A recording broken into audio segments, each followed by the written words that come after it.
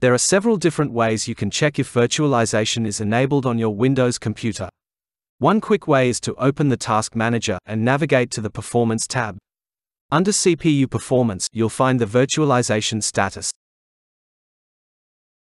Another method to check virtualization status is through the System Information window.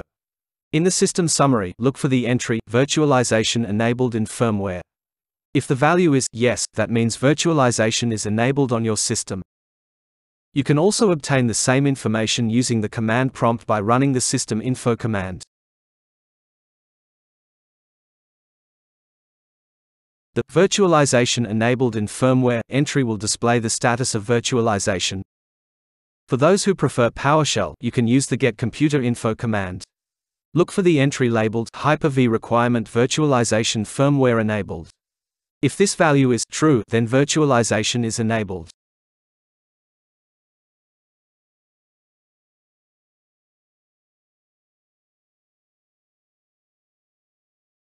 If Windows shows that virtualization is disabled, it's likely because the feature is turned off in the BIOS.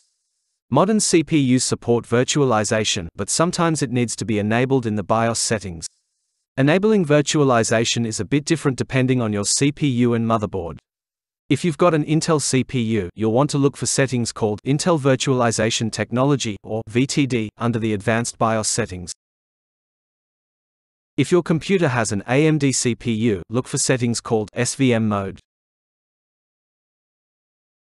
To get detailed instructions specific to your computer, check your motherboard model and search for specific instructions on the manufacturer's website.